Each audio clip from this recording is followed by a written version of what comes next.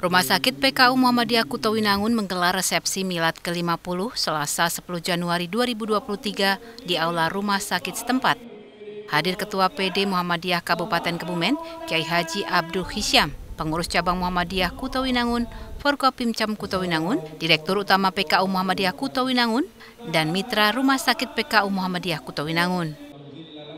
Ketua PDM Kabupaten Kebumen dalam sambutannya berharap milad ke-50 menjadi momentum untuk mewujudkan PKU Muhammadiyah Kutowinangun semakin maju dengan pelayanan semakin meluas.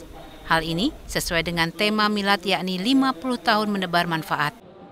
Acara kali ini juga dibarengkan dengan pelantikan Badan Pembina Harian BPH Rumah Sakit PKU Muhammadiyah Kutowinangun oleh Ketua PDM Kabupaten Kebumen.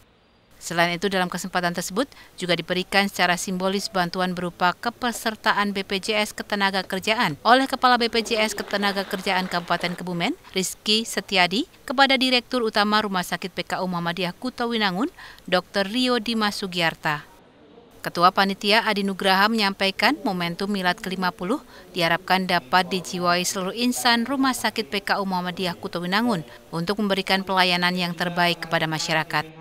Apalagi pada milad ke-50, Rumah Sakit PKU Muhammadiyah Kutowinangun mendapatkan hasil paripurna untuk akreditasi rumah sakit dari Lembaga Akreditasi Rumah Sakit Indonesia atau LARSI.